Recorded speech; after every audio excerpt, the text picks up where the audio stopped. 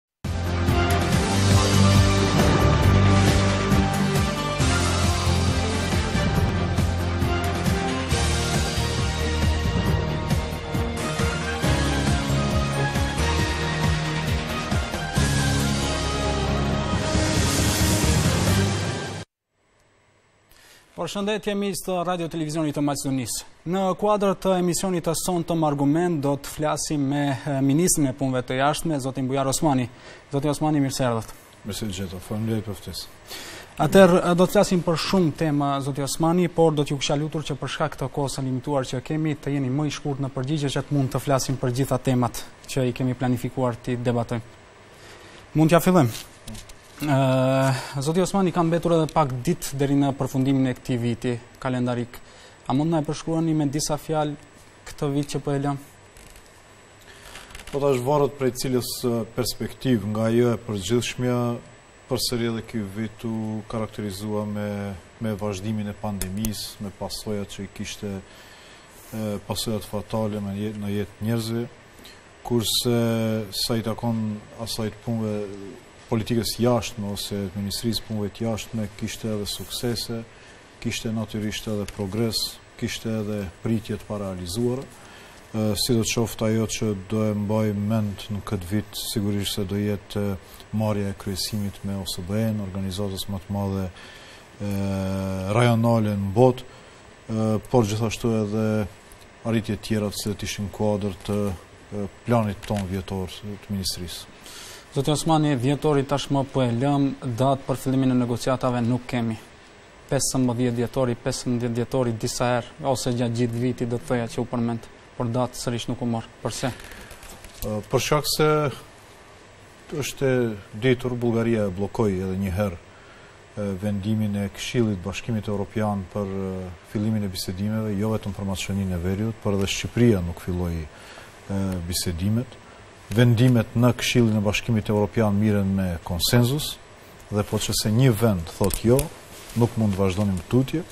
Ajo çfarë për ne ishte me rëndësi se u konstatua nga komisioni që është në një mënyrë qeveria e bashkimit Europian, këshilli është liderët e 27 vendeve anëtare, komisioni konstatoi se ne i kemi plotësuar kushtet. Dhe kjo për ne është rëndësishme për shkak se detyrimi jonë përfundon deri këtu, deri te plotësimi i kritereve. Pastaj, pasi t'i plotësoni kriteret, a do filloni bisedimet, a do ecni përpara në proces varet prej të tjerëve, nuk varet më prej jush. Ashtu që unë mendoj që ne detyrat e shpisë i kishim kryer dhe ato me sukses, jo vetëm që komisioni vlerësoi që jemi absolutisht të mirë në, në përmbushjen e kritereve, po 26 vende anëtare me ngulm kërkonin fillimin e bisedime.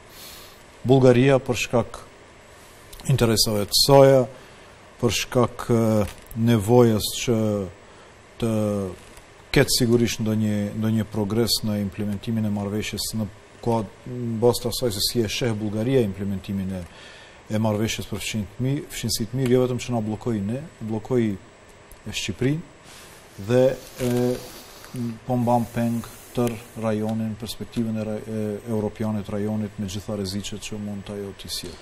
Zoti Osmani, Tashmë pas kësaj joje apo pas bllokimit që e patëm nga Bullgaria, sikur menjëherë po nxitohet me data të reja, është thënë edhe nga vetë ju. Unë unë e bëj me unë e bëj pak edhe me qëllim në kuadër të strategjisë. Optimizëm do të thotë. Jo, jo optimizëm, unë e kam atë strategji të ruajtjes tensionit në në me afate të shkurta.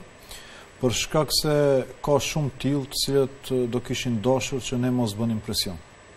Po kjo çështje të zgjatet, të stërgjatet derisa të mbyllen të gjitha çështjet që dikush mendon se duhet të mbyllen para se të fillon bisedimi.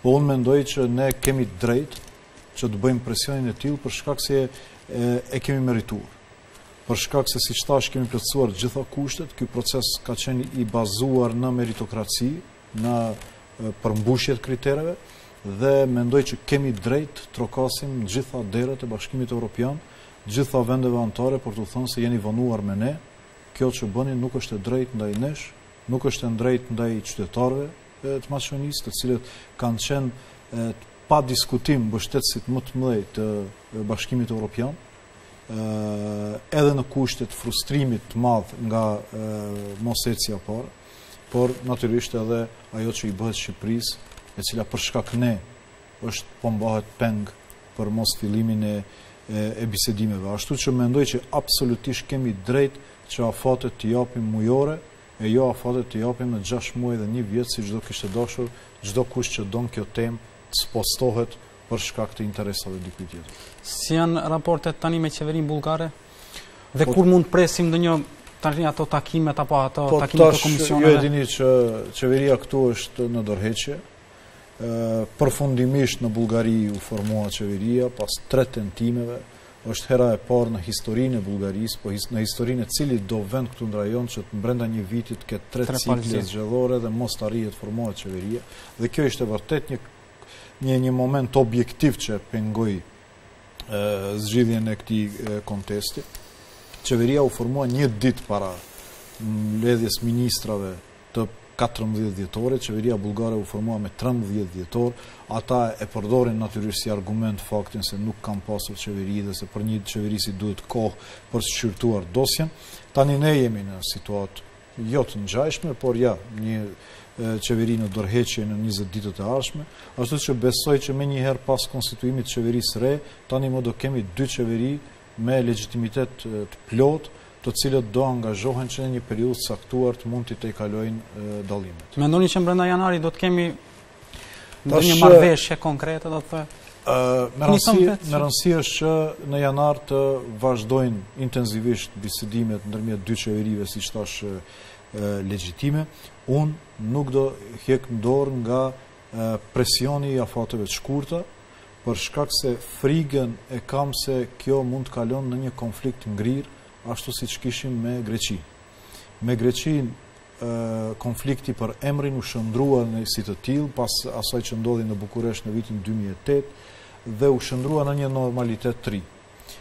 humbëm një gjeneratë të tërtë njerëzve, 15 vite humbëm në pritje, dhe kjo është frika më e madhe ime në këtë, në këtë situatë, që edhe konflikti me Bulgarinë, kontesti me Bulgarinë të shëndrohet një konflikt ngrirë, dhe siç thashë diku tjetër, të bëhet lajmi i fundit, kronika e fundit nëpër lajmet në, në televizive, ose tema e fundit në tavolinën e politikanve, dhe të shqyrtojmë sikur pas vitit dy mijë e tetë, çështje tjera të mbrendshme të cilët natyrisht në mungesë të një perspektive të qartë europiane shumë kollaj e mund ta drejtojnë vendin kah një autoritarizëm, kah një, kah një çështje e konfliktit institucional të të mbrendshëm dhe prandaj por unë mendoj që më me rëndësi është që unë të mbaj tensionin, presionin e afateve të shkurta se sa të kem të kem kujdesin se a po humbi kapitalin politik për shkak se njerëzit do mendojnë që këto janë ky është optimizëm i i, i pabazë. Te këto nxitime do thoja vetë presidenti i shtetit gjatë fjalimit të fundvitit porositi që të mos nxitohet në arritjen e marrëveshjes me Bullgarinë. Unë nuk mendoj, unë nuk e lexoj ashtu fjalimin e presidentit, por ashtu u interpretua në opinion sikur presidenti tha mos u ngutni, kjo punë mund të pret, unë mendoj që presidenti deshte të thotë, deshte të thotë që nuk ka nevojë të shqetësohen qytetarët se po qe se u vonua fillimi i bisedimeve ose tejkalimi i dallimeve, vendi mund të hyn në një konflikt të dhunshëm, në një luftë. Për shkak se kishte edhe jo parashikime, po analiza të analizave të cilat thonin se shtyrja e datës nënkupton që Maqedonia mund të ndahet, mund të shpërthen këtu një luftë e kështu me. Dhe unë këtu pajtohem me presidentin. Nga kjo perspektivë, asgjë nuk do të ndodhë në aspekt afatshkurt për vendin. Mirëpo në aspekt afatgjatë, unë mendoj që do krijon krizë institucionale dhe do jetë një barrë shtesë Për menaxhimin e përgjithshëm të rajonit.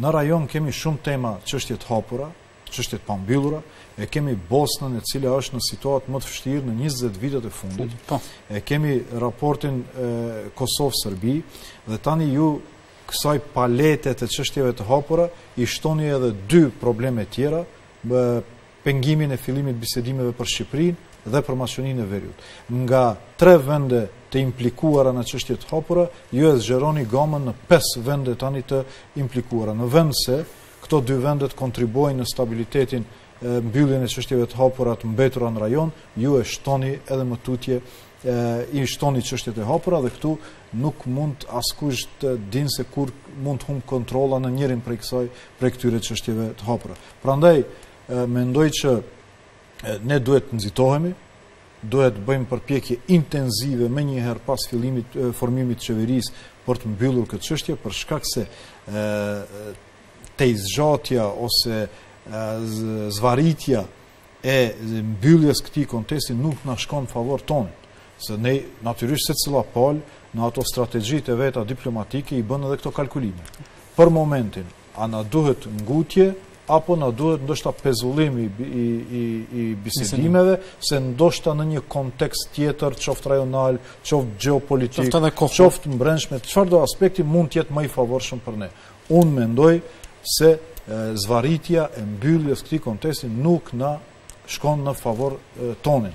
Dhe kujtoj që edhe prezidenti e ndan mendimin e njëjtë, mirëpo prezidenti deshti të bën këtë analizë se nuk ka nevojë për shqetësim për ndonjë konflikt imanent nëse nuk do ketë zgjidhje të shpejtë. Pra me kam edhe një pyetje te çështja e eurointegrimeve, nga janari kryesimin e BE-së e merr Franca.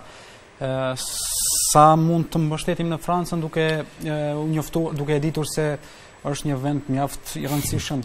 Po te ne tash realisht e kemi edhe fatin e tillë. Kur duheshte të mbyllet me Bullgarinë, Bullgaria ka tre cikle zgjedhore një pas një. Kur duhet Franca të merr presidencën, Franca ka zgjedhjet presidenciale, që natyrisht se do e vështirëson pak ë fokusin e Francës drejt Do thoni që prap nëse nuk marrim datë do t'i hidhet faji sërish zgjedhjeve në Francë apo nuk është kjo çështje faji. Ë unë e tregova shumë mendoj paraprakisht. Detyrat e tona përfundojnë te përmbushja e kritereve. Faji do ishte joni vetëm nëse Komisioni Evropian do të thoshte Maqedonia e Veriut nuk i ka plotësuar kriteret. Pastaj Prej te raporti, prej te rekomandimi i Komisionit te Këshilli, është çështje e Këshillit. Natyrisht se këtu kemi detyrimet tona për t'i tejkaluar dallimet bilaterale, për t'i bindur vendet anëtare një nga një, për të lobuar te ata, por në këtë rast Maqedonia e Veriut nuk ka absolutisht asnjë faj për mosfillimin e bisedimeve.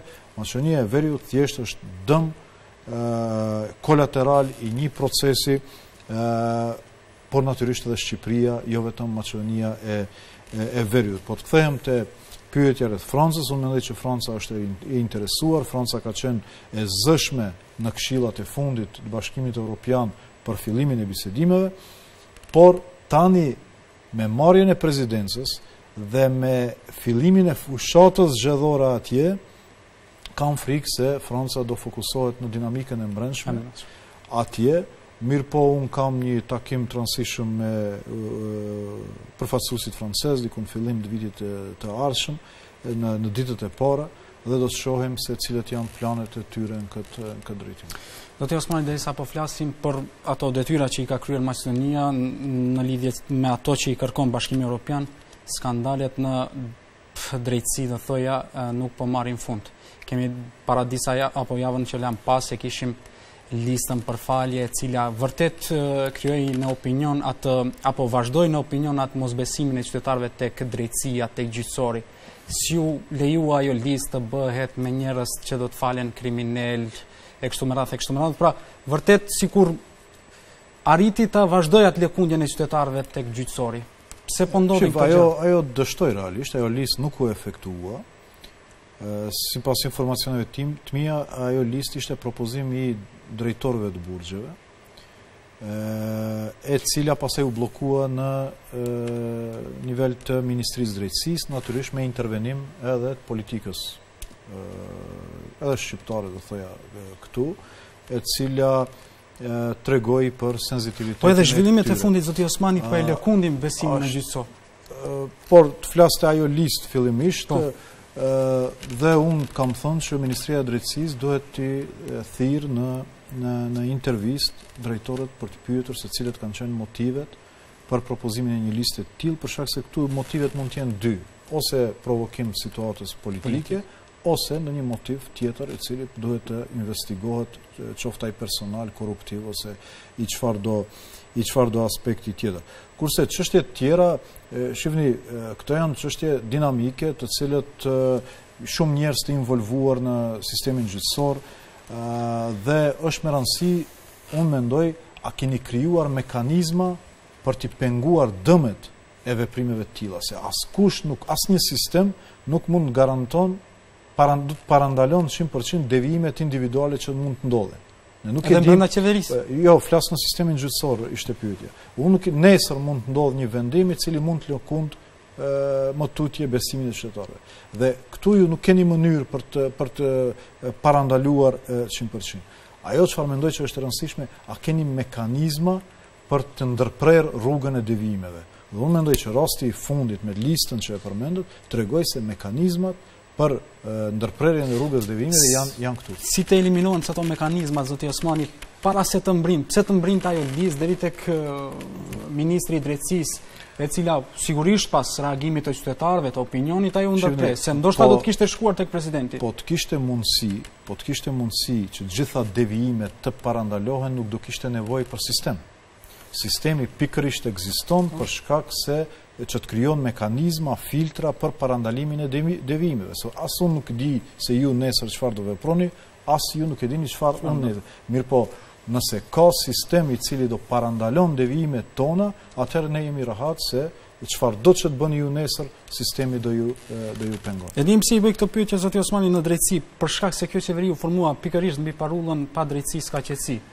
Dhe kur shohim se reformat në gjyqësor, në drejtësi akoma s'kanë lëvizur, do të thoja fare, Po, e vënë në pyetje dhe rrugën tonë është është relative ajo fare. Unë mendoj që ka progres, ka progres dukshëm nga ajo që kishte dikur, që është tash, po edhe në aspekt besimit që kanë njerëzit, Po ka shumë punë për t'u bërë atje dhe prandaj gjithmonë kemi thirrur në vettingun si mekanizmi më i mirë për të arritur deri edhe te individët të cilët mund të jenë bartës të devijimeve në momente të cilët sistemi nuk mund t'i t'i detekton paraprakisht. Dhe vettingu mendojmë që është mekanizmi më i dëshmuar në këtë drejtim dhe jemi ata të cilët në vazhdimësi thirrim për për vetting.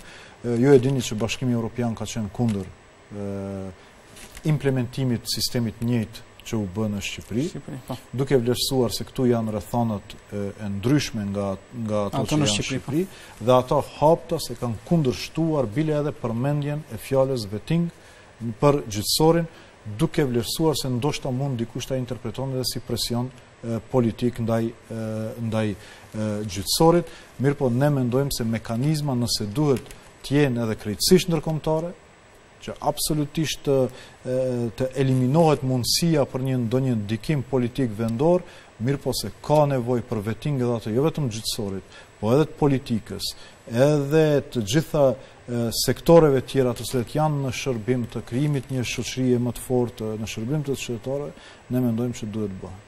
Po. Zoti Osmani do të kalojmë te tema e çështjes së Ballkanit të Hapur apo Open Balkan, e cila sigurisht ka zgjuar mjaft debate si në Maqedoninë e Veriut, po ashtu edhe në rajon, pra mos përfshirja e Kosovës edhe disa shteteve tjera. Pra do të pyes fillimisht cili është interesi i Republikës së Maqedonisë për apo nga Open Balkan, pra çfarë interesi kemi ne si shtet nga kjo iniciativë?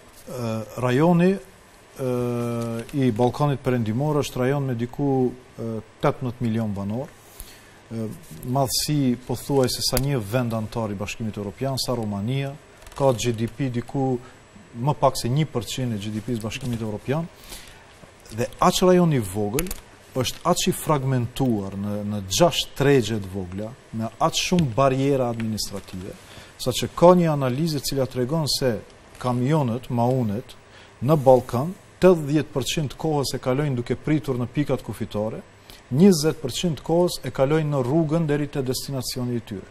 Paramendoni tetëdhjetë për qind e ekonomisë, e qarkullimit tregtar në rajon është e bllokuar nëpër pikat administrative të cilat janë krejtësisht panevojshme. Kurse keni një Europë me një treg të përbashkët ku nuk keni asnjë pengesë, një pikë administrative.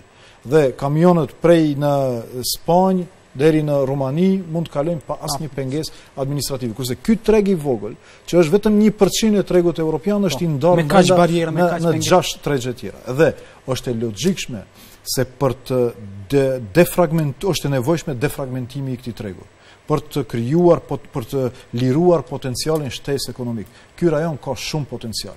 Për momentin është rajoni më me zhvillim më të shpejt në tërë kontinentin e Europës me 7% zhvillim mesatar vetëm Ballkani Perëndimor. Paramendoni po t'ia hiqni këto admi, pengesa administrative, çfarë potenciali ekonomik mund të ketë këtu. Çfarë tregu atraktiv për investitorë të huaj mund të krijohet, për turistë të huaj e kështu me radhë. Dhe arsyeja kryesore se pyetët pse Maqedonia e Veriut është është pikërisht për këtë arsye, për të hjekur pengesat administrative që i mbajnë qytetarët nëpër pika kufitare, që i mbajnë mallrat nëpër pika kufitare, që e pengon ekonominë e vendit. Kjo është arsyeja kryesore. E tash, natyrisht se tregun duhet ta lironi tërësisht, jo pjesërisht.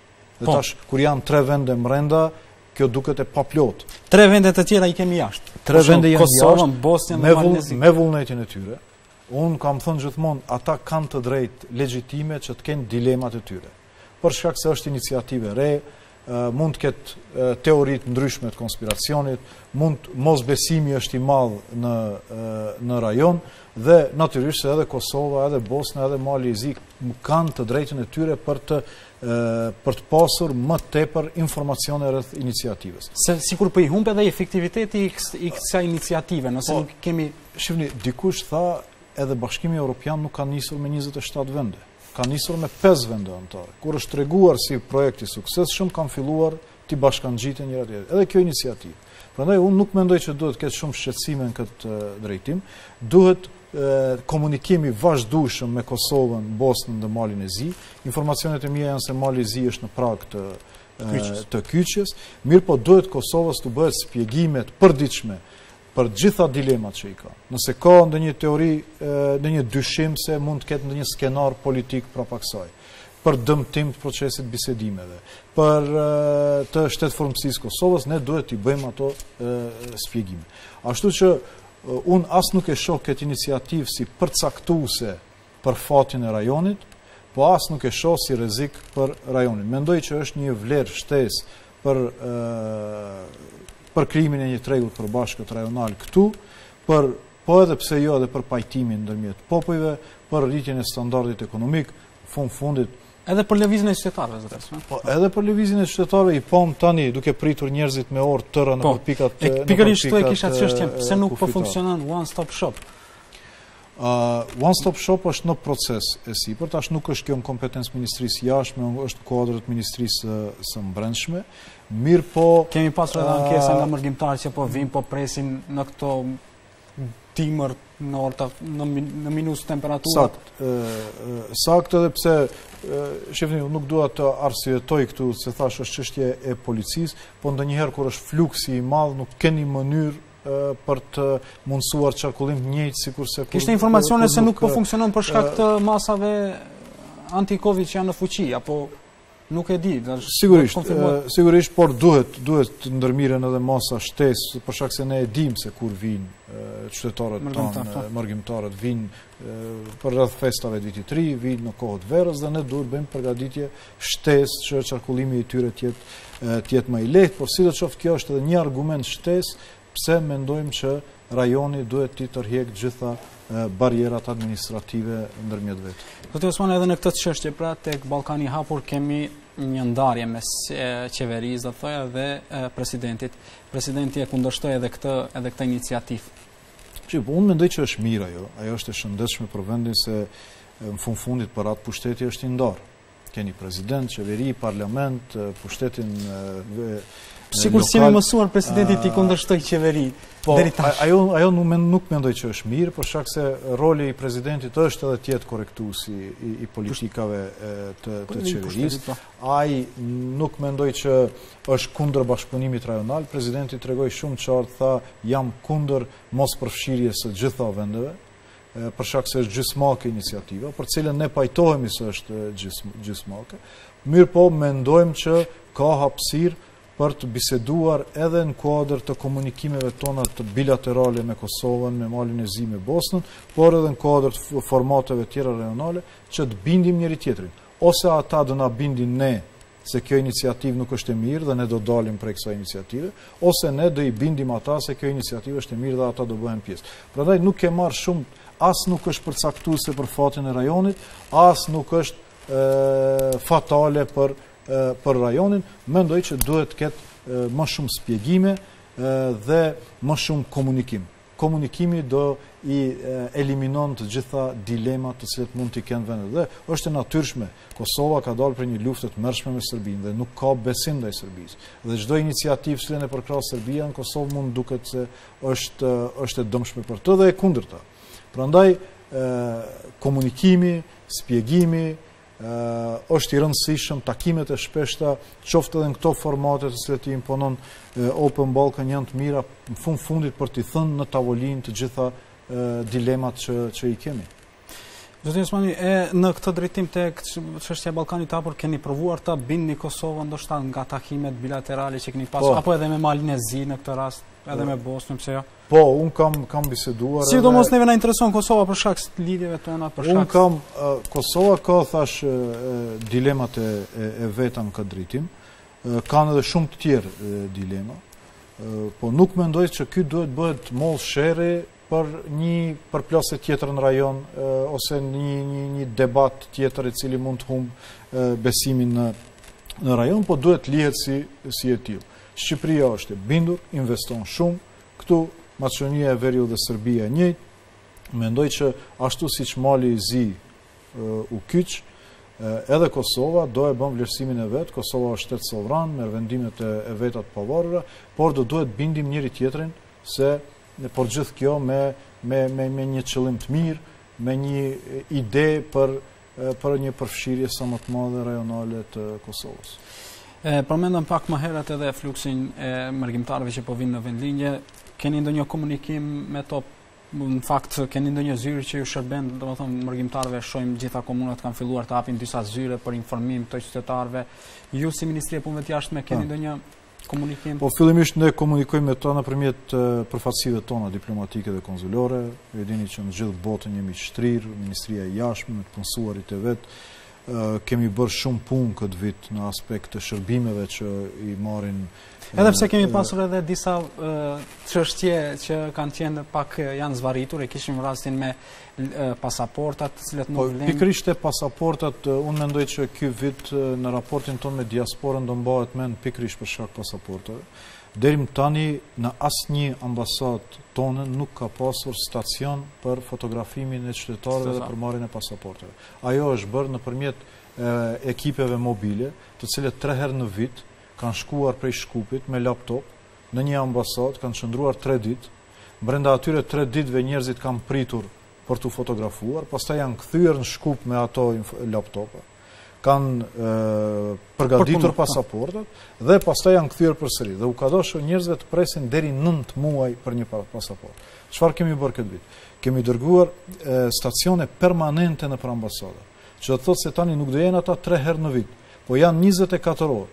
365 ditë në vit. Me në të qënë punësuarit apo së? Jo, jo, jo, të punësuarit e ambasadës kanë të gjitha pajisjet për t'i fotografuar njerëzit gjatë tërë vitit dhe nuk kanë nevojë t'i sjellin në Shkup fizikisht, por online i dërgojnë informacionet në Shkup, përpunohet pasaporta dhe me postë dërgohet deri në ambasadë, Mesatarisht nga ajo që për shkak se sapo ka filluar ky sistem, pritjet nga nëntë muaj kanë rënë në 3 deri në 4 javë prit, pritje për pasaportë. Ashtu që mendoj që këtë vit ka pasur revolucion sa i takon shërbimeve që i jep Ministria e Jashtme mërgimtarëve tanë, mirëpo kemi arritur vetëm në 10 ambasada ta bëjmë këtë.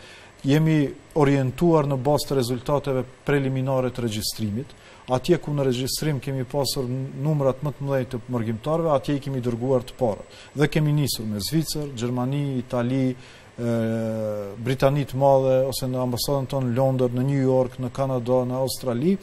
Mirëpo, na kanë mbetur edhe disa vende për t'i mbuluar këtë vit, për shembull i kemi të katërmbëdhjetë pesëmbëdhjetë qytetarë në Kinë, të cilët gjatë kohë janë bllokuar për shkak pandemisë, as nuk mund të lëvizin, po. as ne nuk mund të dërgojmë ekipe në Kinë për shkak se karantina është 30 ditë dhe nuk kemi mundësi si ta organizojmë.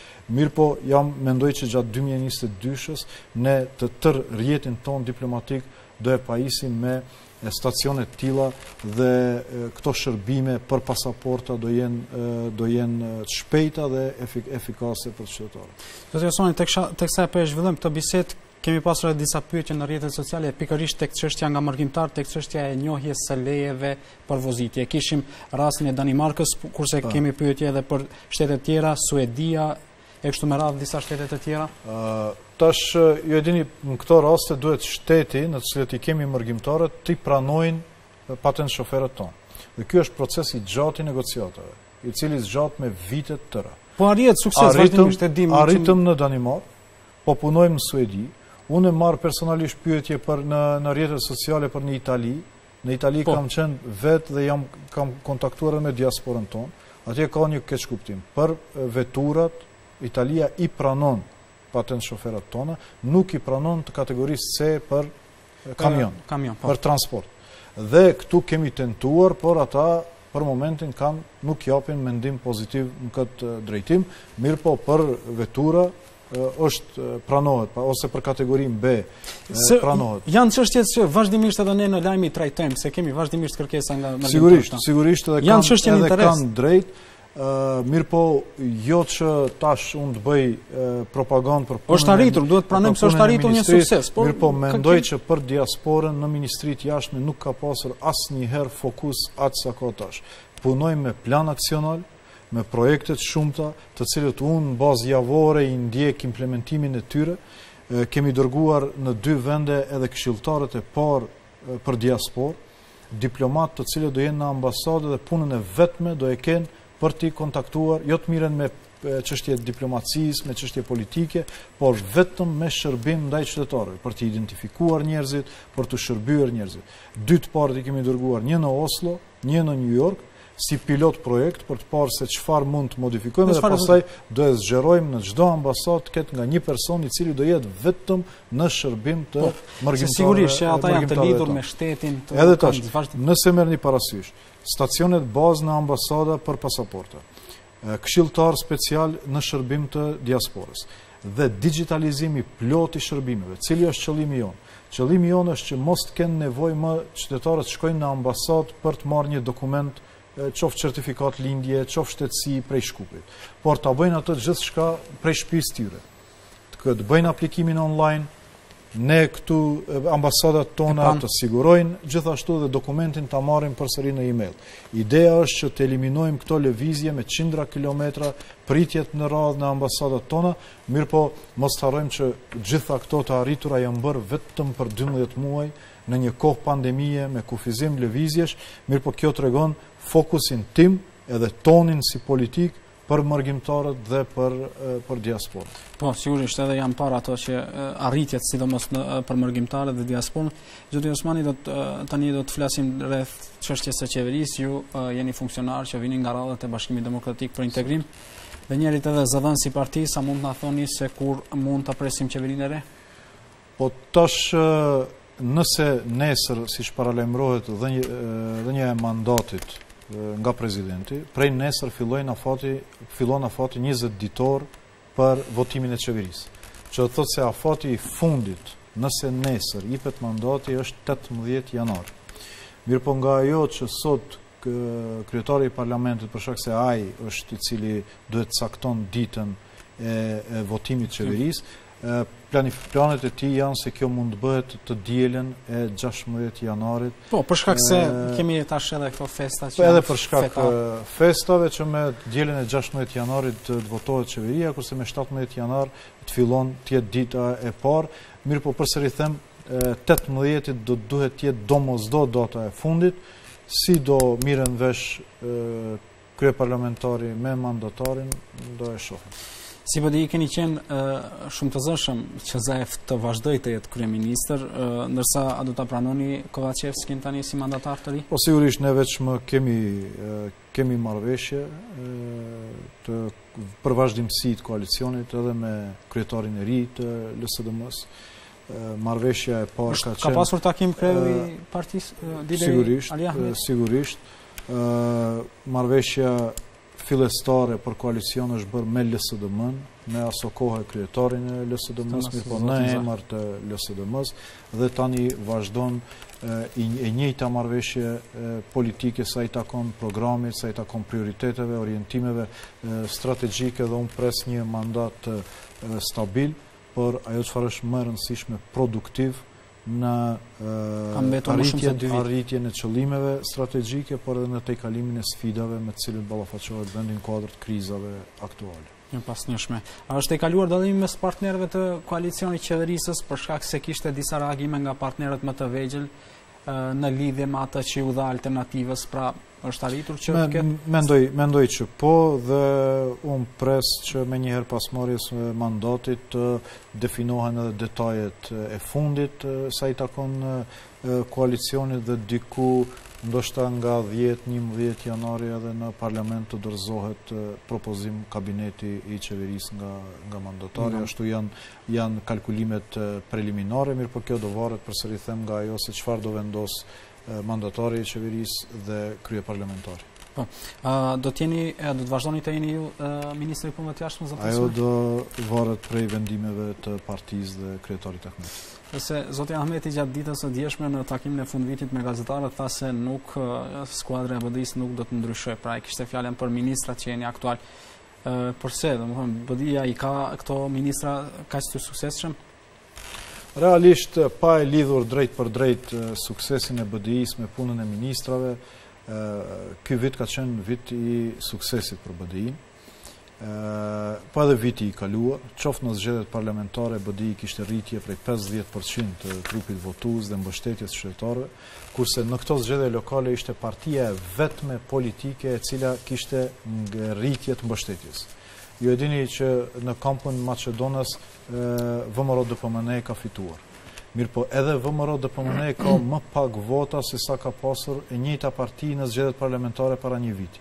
E vetmja parti politike në skenën politike këtu, e cila ka rritje të votave nga zgjedhjet parlamentare të dy mijë e njëzetës, është Bashkimi Demokratik për Integrim.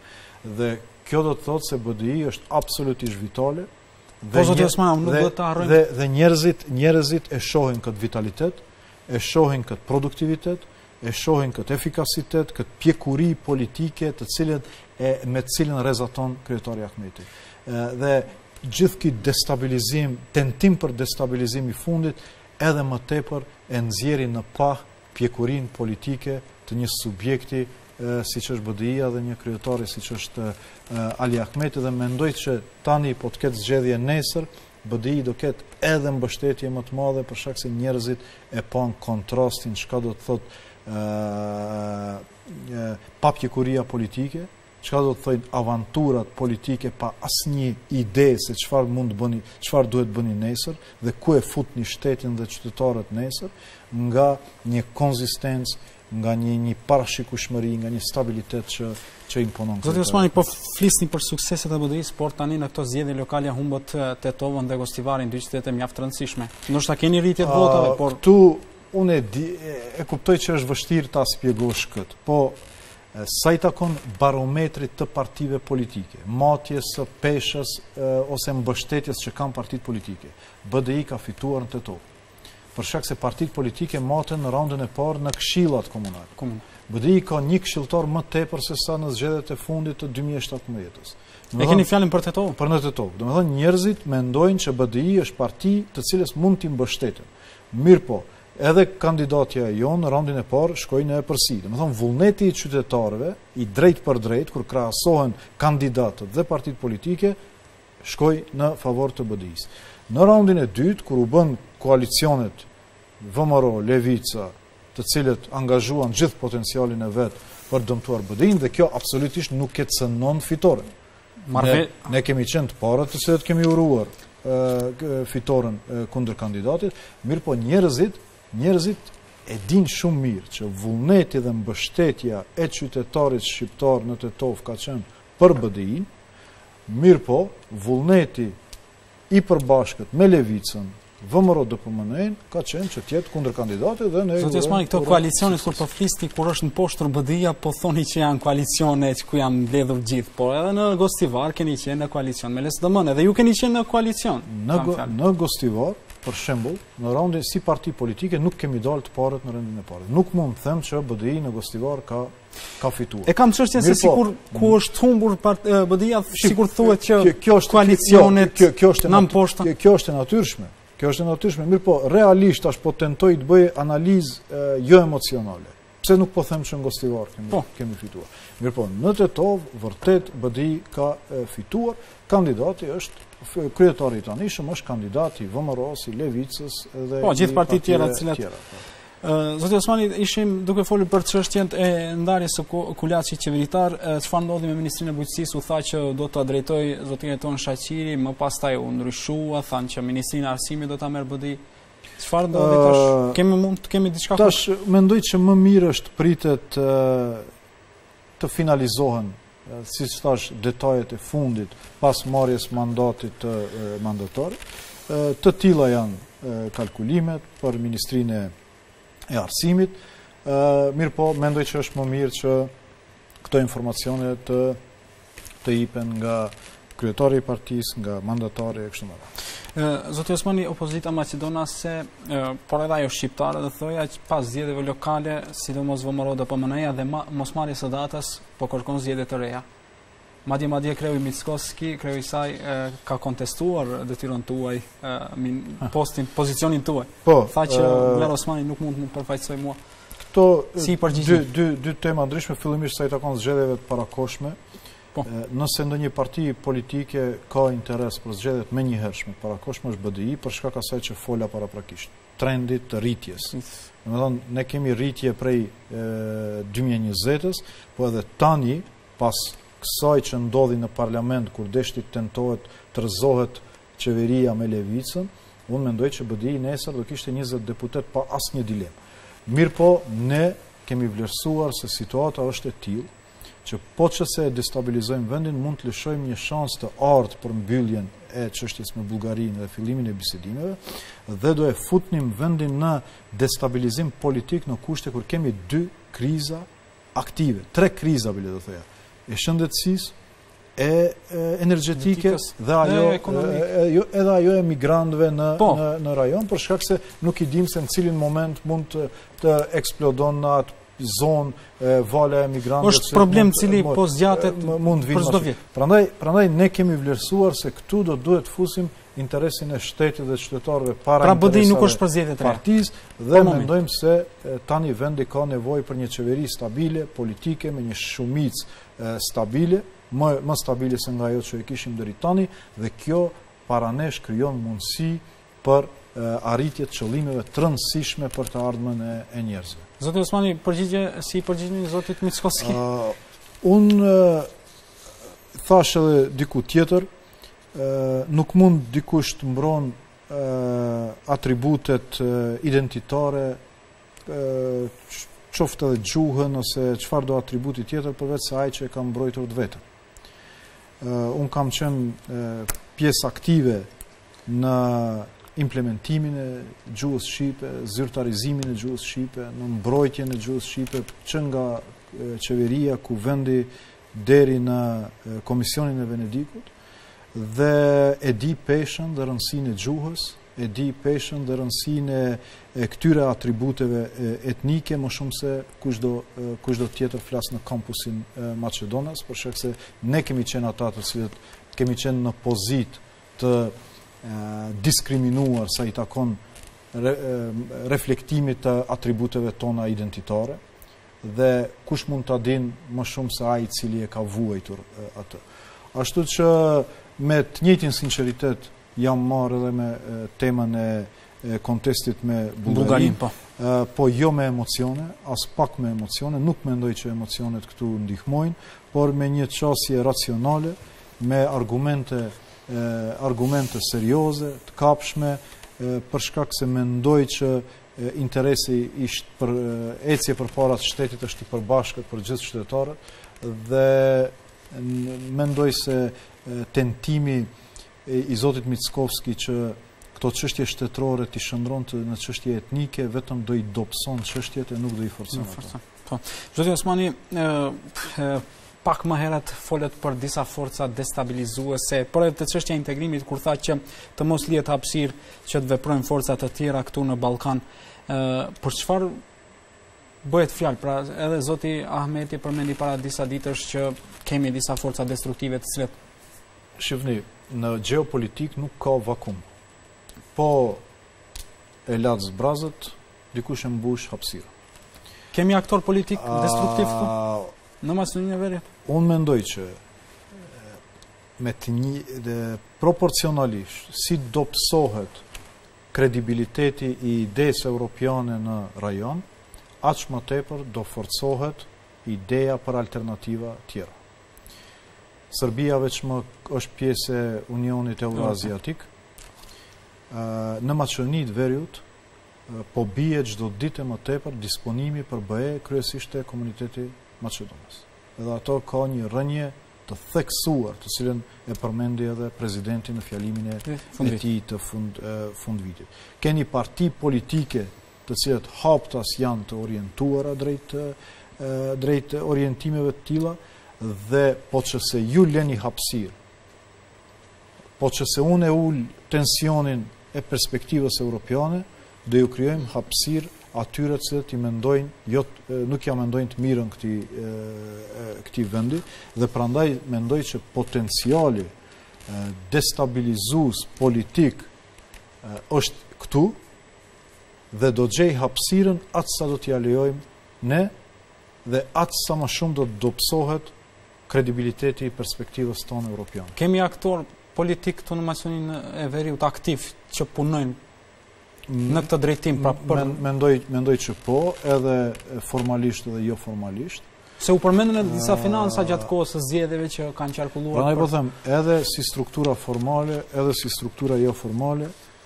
kërcënimet për të treguar se Perëndimi po dështon në Maqedoninë e Veriut, përpjekjet e tilla janë të përditshme dhe të përhershme dhe ne nuk duhet të lejojmë hapësirë nëpërmjet asaj që thash papjekurisë tonë, shkurtpamësisë politike që mund të kenë disa subjekte, të cilët për një interes shkurt politik, për një inat politik, mund të rrezikojnë në afatgjatë të ardhmen e qytetarëve dhe të vendit. Zoti Osmani, do të dalim edhe te dik, tek disa pozicione vakante që janë pra mungesën e ambasadorëve në disa vende. Ku është ky proces? Po tash gjithmonë duhet të nisim të analizojmë prej ku kemi se kjo prej ku kemi nisur. Mirëpo mos harrojmë që vetëm këtë vit un kam dërguar ose prej kur un jam ministri i jashtëm Kam dërguar shtatëmbëdhjetë ambasadorë. Dhe pak njerëz e dinë që shtatëmbëdhjetë ambasadorë janë pothuajse një e treta e ambasadorëve. E diplomasë. Kanë mbetur edhe shtatë vende vakante, tash edhe me Kinën tetë vende vakante, vende të rëndësishme, edhe pse secili vend është me rëndësinë e vet, mirëpo ju e dini që në emrimin e ambasadorëve duhet pëlqyshmëri të tre institucioneve, Ministrit të Jashtëm, Kryeministrit dhe Presidentit, po bëjmë përpjekjet intensive që menjëherë pas formimit të qeverisë edhe të nisim edhe me valën e fundit dhe të mund ta rrumbullakësojmë këtë proces sa ma, sa ma shpejt. A, dua t'ju pys tek përfaqësuesit diplomatikë që i kemi jashtë vendit, e kemi pasur edhe nuk di në rrjetet sociale ka qarkulluar edhe një reagim i Toni Petrovski Gustav, zëvendësambasador i Maqedonisë së Veriut në Kosovë, i cili ka bërë edhe disa reagime, disa komente negative, ndoshta i keni pa? Reagimi ka qenë skandaloz dhe... Keni ndërmarrë... Pa, po, ajo është veçmë në Shkup. Domethënë është tërhequr nga, nga Prishtina dhe po ndërmerren masat e nevojshme. Po, e kjo nuk është se është nuk e, nuk e kam si thonë realisht, nuk e kam thonë, po e them për herë të parë. Po, faleminderit për këtë ekskluzivitet, Zoti Osmani, dhe e, Do thoja për fund, Zoti Osmani, cilat janë prioritetet për vitin 2022, pra çfarë mund presin qytetarët gjatë vitit? 2022 është vit i mundësive të shumta, sa i takon politikës jashtme. Fillimisht nga një janari ne hymë në treshen e kryesuesve të OSBE-së, e di që për njerëzit duket temë e largët, mirëpo Maqedonia e Veriut kryeson organizatën në cilën janë vende participuese, Shtetet e Bashkuara të Amerikës, Rusia dhe 55 vende tjera nga Vankuveri në Vladivostok. Domethënë organizata më e madhe rajonale dhe një vend i vogël si Maqedonia e Veriut do të kryeson këtë organizatë dhe tani hymë në treshen me angazhime konkrete që do i kemi si vend. Do jetë vit i tejkalimit të kontestit me Bullgarinë dhe fillimit të bisedimeve, do jetë vit i konsolidimit të rolit tonë në NATO si anëtare e plotfuqishme, në përforcimin e raporteve bilaterale, në krijimin e marrëdhënieve të reja diplomatike me vendet me të cilat nuk kemi raporte diplomatike, po do jetë edhe vit i shërbimeve konsullore, por edhe shërbimeve tjera ndaj diasporës tonë, ndaj mërgimtarëve tonë, ashtu që unë jam shumë optimist që ky viti 2022 do sjellë shumë të mira sa i takon politikës së jashtme dhe shërbimeve ndaj diasporës. Që kemi edhe pak kohë zoti Osmani për fund, mendoni se kjo qeveri do të vazhdojë mandatin, pra mandatari i ri do ta çojë qeverinë deri në fund? Me, mendoj që po, do jetë shumë e logjikshme. Sepse zgjedhjet sikur po na i stagnojnë proceset. Do jetë shumë e logjikshme të ndodhë ashtu. Unë përmenda me një rast tjetër se në 15 vitet e fundit ne kemi pasur diku ndoshta 10-11 cikle zgjedhore dhe nëse i llogaritni që një cikël zgjedhor 3 ose 4 muaj paralizon sistemin, ne në 15 vitet e fundit 5 vite nuk ka funksionuar sistemi. dhe kjo vërtet është është e dëmshme për vendin dhe për qytetarët dhe do ishte mirë që një mandat të kalon pa zgjedhje të të parakohshme se mos harrojmë që ne kemi para nesh edhe zgjedhje presidenciale të cilat duhet të mbahen dhe nëse shtojmë edhe një palë zgjedhje të parakohshme kjo vetëm se do krijon më pak stabilitet, më pak parashikushmëri, më pak fokus të institucioneve ndaj njerëzve, ndaj qytetarëve, por edhe më pak mundësi për të për të arritur qëllimet tona strategjike si vend dhe si si njerëz këtu. Zoti Osmani, faleminderit. Faleminderit.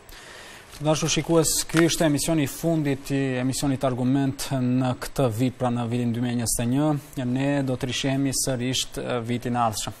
Ju faleminderit për vëmendjen. Natën e mirë.